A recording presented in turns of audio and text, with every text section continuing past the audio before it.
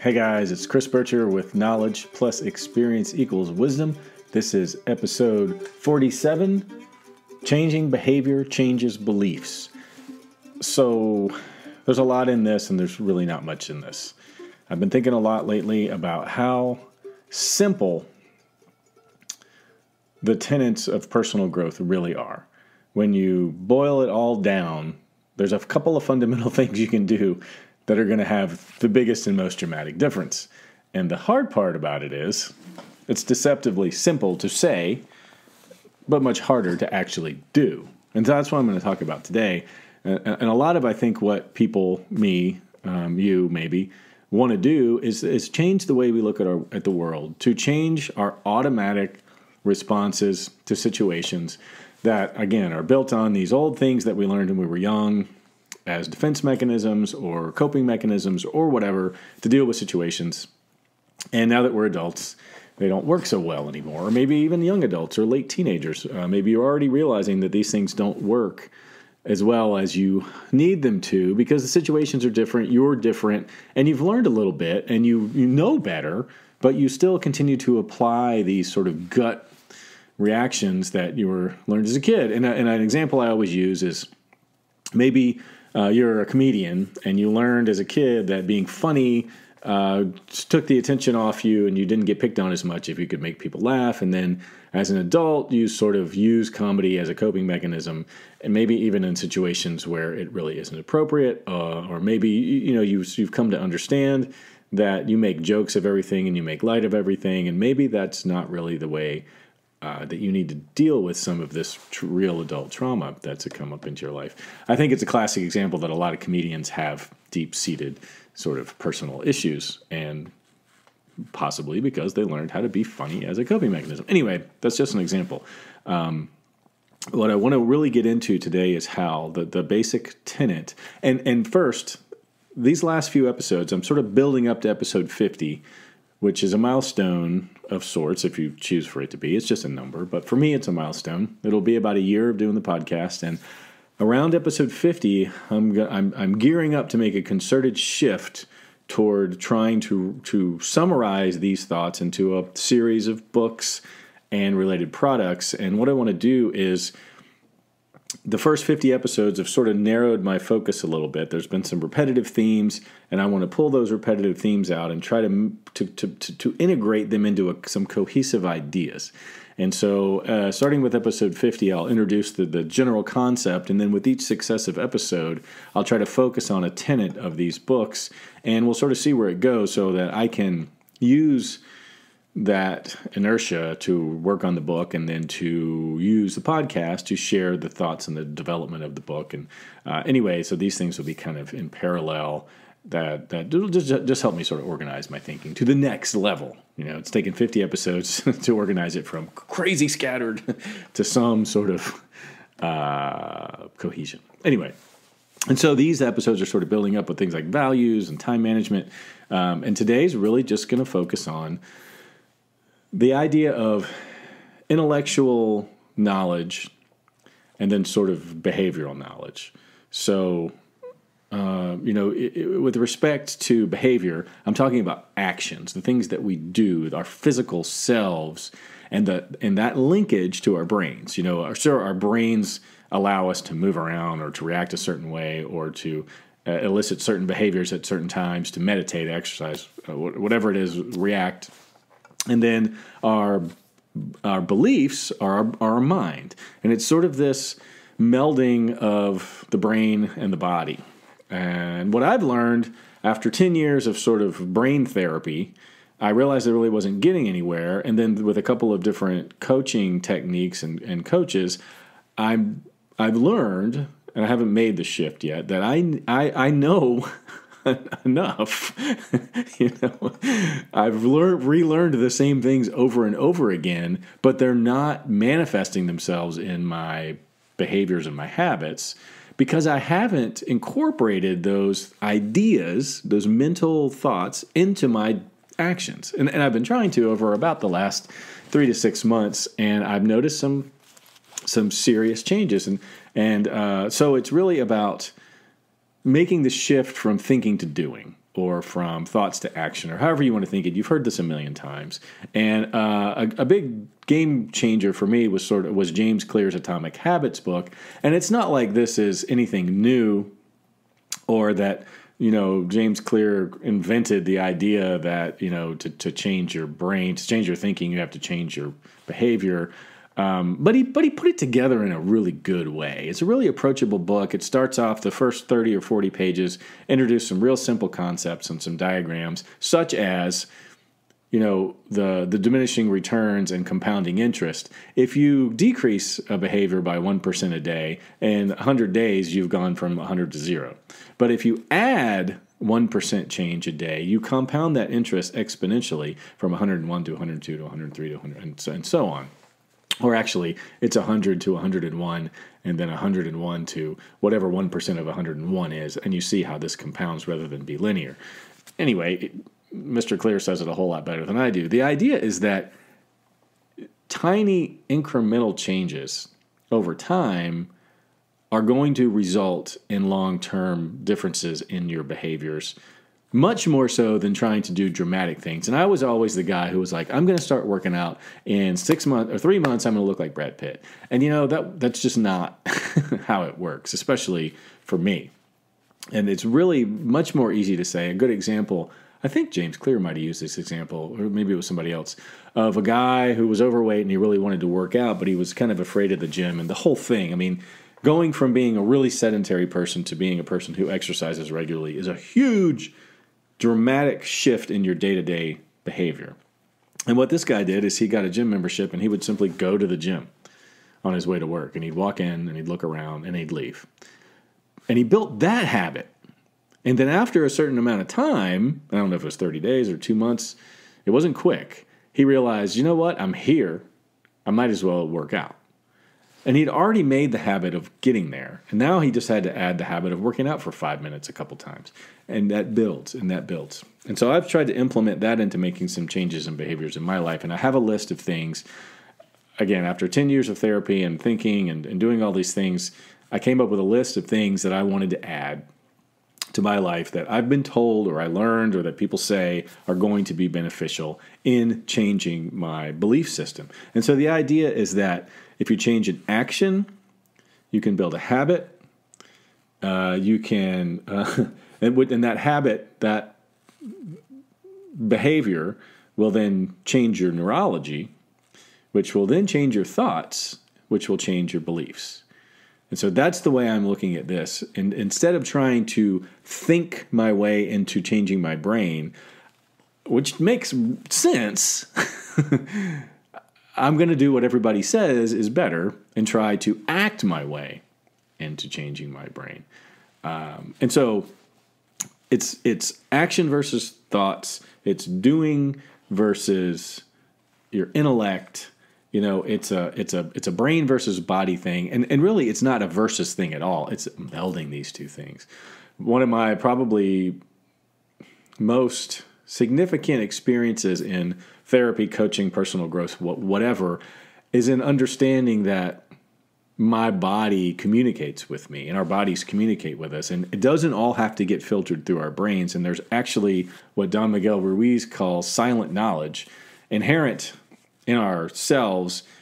And maybe it's surely it's part of the brain, but it's not in the, the thinking system that we're typically, we don't talk to ourselves through this. In fact, through meditation and silence and active listening, our bodies will communicate with us. And I've had some pretty now that I'm able to do to, to believe that that's possible and to have experienced it and to have have seen the dramatic sort of effect of listening to my body can can do, I really want more of that.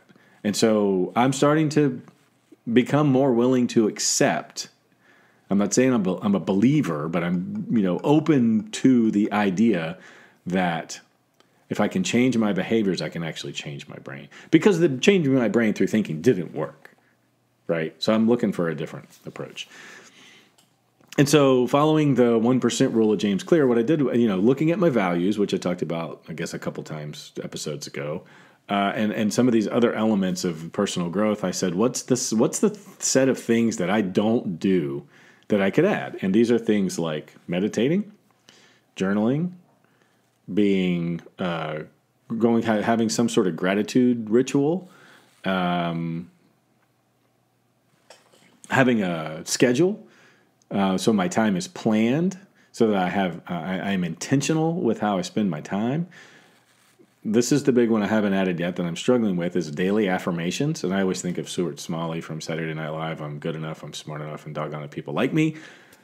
That sounds absurd. It was presented to me as comedy, but I'm starting to think that that kind of talking,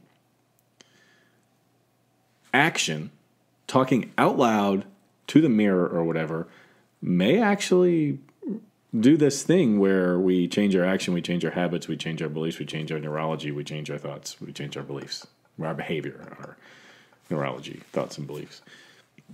Why not? Can't hurt. You know, what's the damage in doing something good for ourselves every day? Now, if you look at that big giant, and then exercise, I don't know which, let me go through the list again just in case. So it's habit, uh, meditation, journaling, scheduling, exercise, affirmations.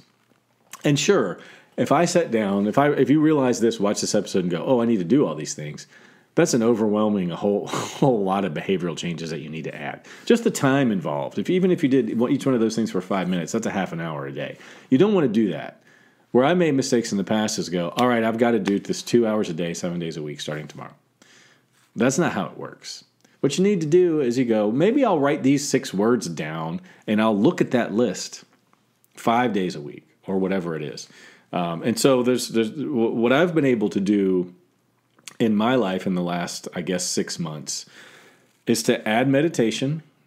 Started off with three minutes, went up to five, did it three, four days a week, set a goal of five minutes a day, five days a week got to that. And now what I do is I set my timer for 20 minutes, five days a week, after I drop my daughter off at school, on my way to whatever I'm going to do next to go work on houses or come back and do this or mow the grass. I pull over, set my timer, and I'll meditate for 10 to 15 minutes. I usually don't make it the whole 20 minutes. Sometimes I do, sometimes I don't. But I've been able to do that now regularly for three or four months, four to five days a week. And I don't beat myself up. You know, it's like I, I quit drinking soda. Side note, and I, I had a soda the other day, and my third daughter's like, "Oh my god, dad!" And I'm like, "It's okay. It's not like I'm an alcoholic. I had one soda, one eight ounce soda. I'm not gonna now kick in that whole habit again. It's like this all or none thinking just sets us up for failure. But anyway, so that's how I did that. I knew I needed to add exercise. I've thought about this for years. I didn't really have a way to do it. I didn't see where it fit into my schedule because it's, you know, 35, 40 minutes um, is the program that I wanted to do. And I found one that was only four days a week and I thought it was doable, discussed it with my wife, decided to get up about 45 minutes earlier than anybody else to interrupt their schedule. So it didn't mess up my wife's morning routine. It didn't mess up any of my daughter's morning routines. Yeah, it's hard. Um, and my wife doesn't like to wake up to my alarm. So we got her some sleep earbuds so that now she doesn't wake up when my alarm goes off. So anyway, we we figured all of that out, and now for oh man, so 20 weeks now I've been exercising four days a week, and uh, I feel a lot better about that.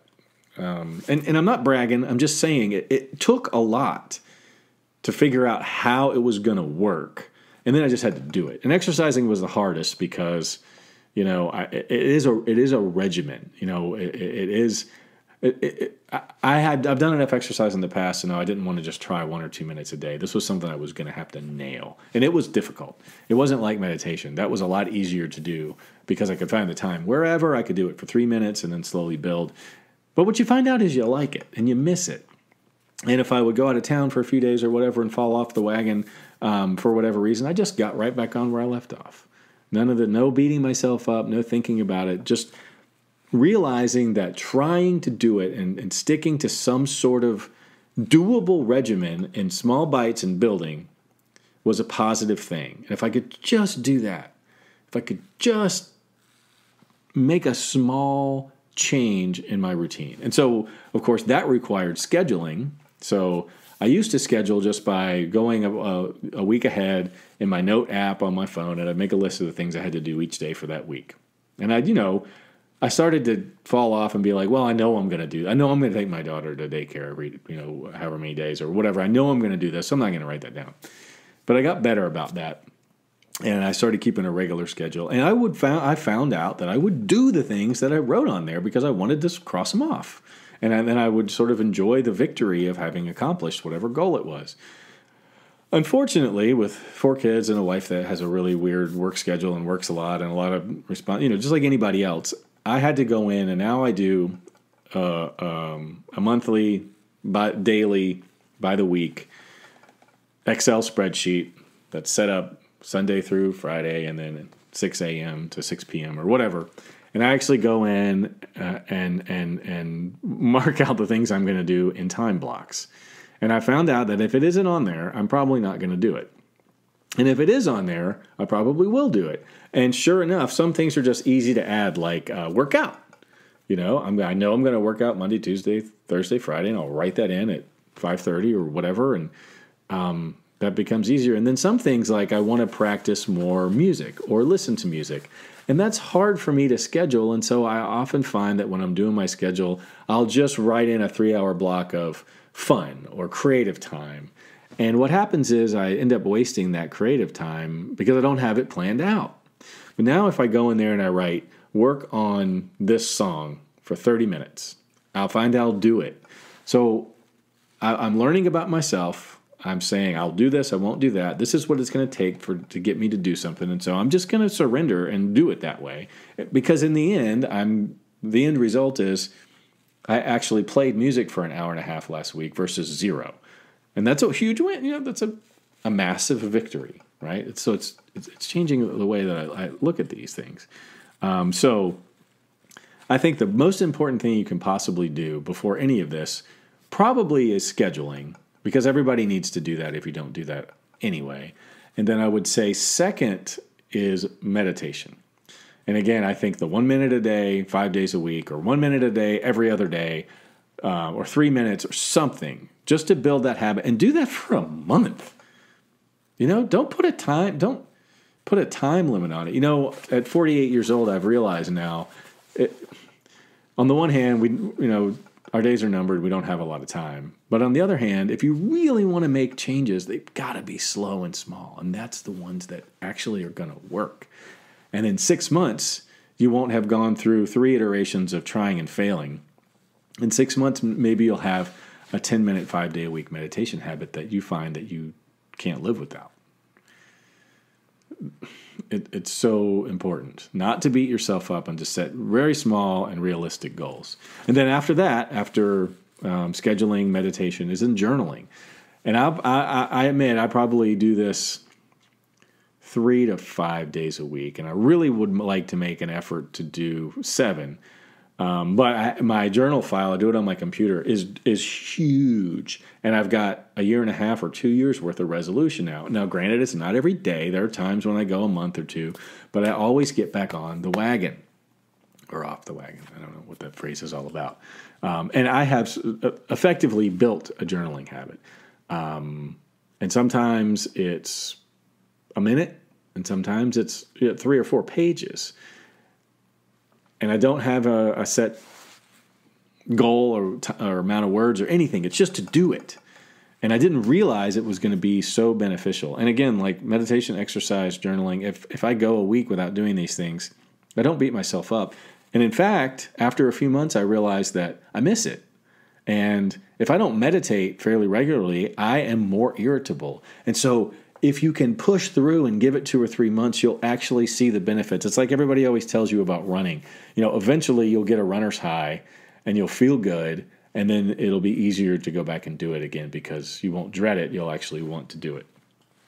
So, scheduling, meditation, journaling, and then exercise. I said that before. I think that's part of any, you know, even if it's walking to the mailbox and back tell yourself maybe you drive maybe you get your mail in the car out your window on the way home every day change that to i'm going to drive up park my car get out go in the house and then come back out and get the mail and go back in and then mark it off and schedule you know journal, you know whatever and say, I'm doing this. And then that becomes your new habit. And now say, maybe I'm going to walk around the block once before I get the mail. And now you've added that. And then maybe three or four months down the road, you go, I'm going to run around the block once, or I'm going to go, whatever. That's how it works. Setting these unrealistic and huge goals about looking like Brad Pitt or only eating, um, you know, vegan shakes or uh, meditating for 45 minutes uh, twice a day, you know, that isn't how our, that's not how humans work. And comparing yourself to that sort of standard is not going to produce the results you want. Um, and then the last one that's really hard for me to do are daily affirmations. But after plowing through the Ruiz books, Don Miguel Ruiz, The Four Agreements, Jose uh, Ruiz, The Fifth Agreement, um, the, all, and, and, and, and Miguel Ruiz Jr., all those books are gold mines. I read them twice over the last 10 years since they've come out, and they didn't do a whole lot for me. People have mentioned maybe you need to go back and visit these things. And I did with a sort of indifferent mindset. And I'm now more open to the ideas that are suggested in there. Uh, and I and I'll probably dedicate parts of episodes and, and use this because I've now sort of incorporated these ideas um, into my daily thinking. But the thing that really I found I was missing from all that is the daily affirmations. You know, Jose and Miguel and Miguel Jr. They all say we are perfect beings we are God. We are connected and all as one. And part of their daily affirmation routine is to remind yourself of that. It's to wake up and say that you are perfect um, and you are fallible and all these other things too, uh, but you are the opposite of not good enough, right? And so I guess your daily affirmations sort of will reflect what your issues are. But a big one of mine is I'm just not good enough. I don't deserve these things um, successes for other people, whatever. And so I, I am in the process of figuring out ways to develop some affirmations that will assess, address my issues, and then to get in the habit of actually speaking these out loud every day to see if that has any difference. Because I can tell you, journaling, meditation, exercise, scheduling have all had dramatic influences on my life. And I'm not saying I can fly now or that I have superpowers. But I feel like this toolkit is allowing me to better meet my personal growth goals, even though I'm not an expert, an overachiever, or super good and dedicated at any of these things. But I have made incremental changes. I've learned to reward myself for that by, or celebrate being able to do that, and find some um, power and the success of achieving those things. And now I'm starting to believe that I can actually do that. And all of that has to do with acting. I'm even to the point where I'm starting to think I need to stop reading. I bet I read two or three books a week, all in the nonfiction genre of, you know, the self help philosophy, personal growth, what used to be called New Age, maybe, um, category. Things like Soul Money and the Four Agreements and um, yeah, yeah, personal growth books. For what? I feel good about it. A lot of it is ethnocentric reaffirmations of seeing things written that I believe. Um, but you know, that'll only get you so far. And that's important. And I think it's something we need to do. But the point is, I'm actually considering trying to make a concerted effort to do less of that to make more room um, for action. Instead of reading 10 pages of a book and falling asleep at night, maybe I'll add meditation or gratitude or something like that, or, or affirmations, whatever. Um, something that I'm actually doing. Because doing is what's going to produce the results. I don't know that you can start the doing without some fundamental understanding of the underlying reasons and theory behind it. But I'm starting to believe that doing is probably more important than, than, the, than, the, than the intellectual part. But that's my own personal thing. All I'm suggesting is that if you were a person like me, and you believe that you can change your thoughts by changing your thinking, I'm here to share with you, if you haven't heard so this before, that that's probably not going to work, or it's a lot harder. And the better way, or at least what people say, and I'm living evidence of that, is you change your thoughts by changing your actions. And by addressing your own personal values and beliefs and sort of things that you need to address so you can customize it. And then by scheduling, journaling, meditating, exercising, and uh, doing daily affirmations. I think that is a powerful, simple, hard to do, easy to talk about, but but simple way, and can all be achieved in an hour a day. And that's if you're adding exercise. If you take exercise out, you can probably do all these things in 15 or 20 minutes. But maybe you can incorporate them into what you're doing already. And that's another thing that James Clear talks about is habit stacking. Maybe you get up in the morning and you brush your teeth. Well, maybe you can get up in the morning, brush your teeth, and refer to your list of daily affirmations that are on your mirror and say those things out loud after you finish or before you brush your teeth, something like that. So you're adding these things. And all these things are awesome and stackable. Uh, last thing I'll say for an example is when I journal, I tend to uh, try to do a, a gratitude and affirmation exercise in the beginning of my journaling and then also sort of sometimes, not always, we'll we'll sort of think ahead to my day and write down my thoughts about what I'm going to do or what I need to do. So I mean, all these things sort of combine uh, and work as a as a little team uh, for your um, mind body unification. So that's episode 47 knowledge plus experience equals wisdom about changing behavior to change beliefs. And I hope you found some something useful in it. And uh, if you're in the process of doing these things, I encourage you to keep at it and uh, share your personal victories. I'd like to hear about them, and I'm available. So, anyway, next week will be another Curiosity interview series release. I think I'm going to do nine, unless I can line up a 10th. That'll go on for two more times. That'll be number eight. And then the week after that, episode 48, building up on our way to episode 50 and some dramatic changes here at Knowledge Plus Experience Equals Wisdom. Thanks, guys.